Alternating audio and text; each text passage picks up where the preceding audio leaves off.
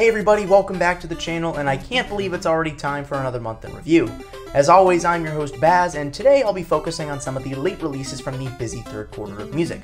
Of course, big name stuff like Donda and Certified Lover Boy will be covered, but also stay tuned for reviews of the new Clairo and Deafheaven projects. As always, I will get all of my pandering done first thing. If you like whatever you're watching, make sure you like, subscribe, and drop a comment, or be sure to engage with some of the links I've put down in the description.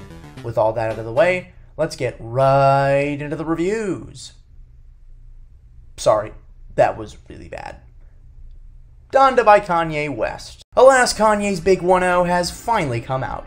After the press began murmuring about the album on Twitter in mid-July, and an ad airing on national TV confirming a July 23rd release date, you would think that means a definitive date. But with Kanye, try multiple delays for the album not being completed and listening parties in front of massive Atlanta and Chicago crowds to show off the album's progression. And most fittingly, it dropped on his new favorite day of the week, one Sunday, August 29th.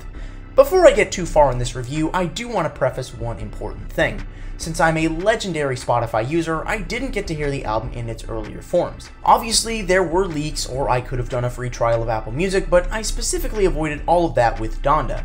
In retrospect, I'm sort of glad I did it that way. To me, a fair amount of songs sounded unfinished, too long, or didn't really fit in on the album. To think that songs like God Breathed, Hurricane, Praise God, Jonah, and Remote Control are all final versions is a bit baffling. But that might not even compare to two of the worst tracks Kanye has ever put out. That would be the drill influenced Off the Grid and the Android quality Pop Smoke acapella over Tell the Vision. Thanks, Black Mass. Even though there are a few times where the record lost my attention, it is a Kanye album, so of course there are going to be good songs. Jail, Okay Okay, Believe What I Say, 24, Moon, Keep My Spirit Alive, New Again, Come to Life, and of course the track that everyone and their grandmother knows by this point, No Child Left Behind. And just when you think it's over, Kanye gave us four part twos of songs, a decision I also scratched my head at. I just didn't see a point in adding over 20 minutes of runtime with pretty much the same songs again, now with different features or some other ideas expanded upon. Anyways, here's the verdict you've all been waiting for. Each time I finish this album, I feel a bit more underwhelmed with it. Behind all the hype that went into this release, Donda is a monkey that ultimately leaves more questions than answers. There are flashes in the pan, though hardly enough substance to explain the 108 minute runtime. Hell, I kept forgetting about songs that didn't leave much of an impact on me, which is a new low within Kanye's discography. I don't know how much more time I need to sit on my score here, but right now, for this channel, I'm giving Donda a 7 out of 10. And now here's a fitting follow-up to Donda, Certified Lover Boy by Drake. He and Kanye are still alive and beefing, and both parties were delaying their albums to compete for chart spots. Kanye won the war, leaving Drake to push his release to the 3rd of this month. I was expecting pretty little from this project, and let's pretend to be shocked here, it was just that. Pretty little. I thought Scorpion was a letdown, but wow, there's no question that this is Drake's worst project.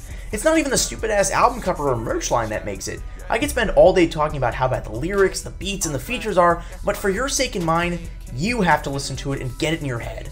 Girls Want Girls, in the Bible, Fair Trade, Way Too Sexy, No Friends in the Industry, 7am on Bridle Path, You Only Live Twice. This shit just stinks the deeper you get into this album. Out of everything on here, there were only like three highlights for me Love All with Jay Z, TSU, and fucking fans. In the end, this album really forced the issue that Drake is nothing but a corporate magnet. He stopped making music for himself and only makes stuff that'll sell. The common man out there will be like, oh yeah, he's smart for doing that. Not that my opinion means much more than anybody's, but I don't think that's what art is supposed to be about. Da Vinci didn't paint the Mona Lisa because he wanted to make hundreds of millions of dollars on it. No, he did it because he loved his craft, and historians say he was still working on the damn thing 15 years later. Certified Lover Boy, on the other hand, feels like it was completed in 15 days, maybe even 15 minutes, with just how lazy and uninspired it was. 2 out of 10, next album. Unlike Certified Lover Boy, I hardly knew what to expect on Claire Cottrill's newest album, Sling. To think that she started as a minimal bedroom pop artist and is now making her way into richly produced folk pop is the last thing I could have seen coming. I think it's funny that this album came out in fucking July, and it sounds like one of those albums you'd want to turn on in the middle of a winter snowstorm. Regardless, I felt like that irony and symbolism sort of worked, and loved every minute of it. This is not meant to be a negative in any way either, but Claire comes off sounding a lot like Phoebe Bridgers. Again, I loved every minute of it. It just proves how much influence Phoebe's had on indie music as a whole. Getting into the album now, there's hardly any fat on it. Every lyrical and stylistic decision is so careful and calculated, and you gotta hand it to Jack Antonoff too. He did a pretty good job handling the production. Songs like Bambi, Amoeba, Blouse, Harbor, Joni, and Reaper all show how much Claire's music has evolved from Immunity until now. The only track I didn't enjoy all that much was Zinnias. Even then, it was still okay. To have 12 songs and one just get an okay from me is not something I can say about a lot of artists. If you're like me and waited a while to listen to this, that's a mistake. Sling earns every bit of praise I can give an album, and I hope you guys fall in love with this record just as much as I did. I gave Sling a 9.5 out of 10. And on a similar note of surprise, I was certainly not expecting a full-fledged rebirth from the San Francisco black metal group Deafheaven on their newest outing, Infinite Granite. Released just over a month ago, their shift to post-rock and dream pop on Infinite Granite is marvelous. The entire album feeds from a variety of influences, mainly The Cure, Interpol, My Bloody Valentine, the list goes on.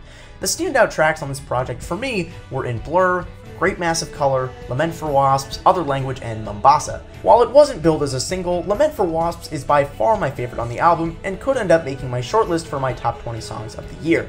I'm going to shift away from my overwhelming positivity for a moment to talk about a few songs that I felt were undercooked Shellstar, Villain, and The Gnashing. There's no denying that Shellstar was just a cheap beach house knockoff and far from the best choice to open up the album. In the case of Villain and The Gnashing, both had much less interesting development compared to the other cuts on here. After a few listens, I still don't understand why they suddenly decided to reinvent themselves five albums in. For many bands, that's just an excuse to capitalize on current trends, but this never once came off like a cheap way to stay relevant. George Clarke and his crew are still alive and well, creating incredibly poignant musical moments for all to hear. I gave this album an 8.5 out of 10.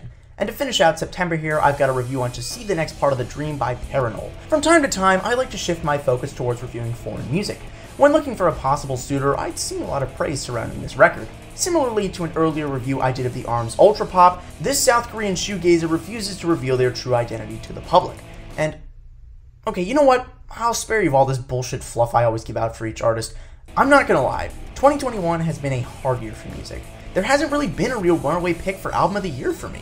Some great ones, no doubt, but not very many that I'll revisit after my initial reviews. Of course, all signs seemed like Sling would get the nod just a few minutes ago, but all that praise pairs in comparison to my thoughts on To See the Next Part of the Dream. I find it impossible to believe that Parannoul is just a student writing music in their bedroom as their Bandcamp states. The amount of lyrical and sonic beauty in these 11 songs is remarkable. My good friend Mickey T's partner on the Tape podcast, Nostalgia, brought up a really good point in his review, and I'll link that down in the description. Have the English translation pulled up on Bandcamp because you'll connect much more with the themes of the album. I know I did. It boils down nearly 35 years of a genre's musical evolution to perfection in 61 minutes and keeps you thoroughly engaged from cover to cover. Most importantly, it's an album I plan on revisiting time and time again, no matter what. I gave this album a very rare 10 out of 10.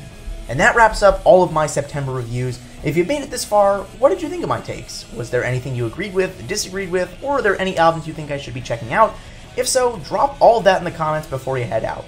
Once again, thanks for watching this video. This is Bazz signing off, and we'll see you on the next one.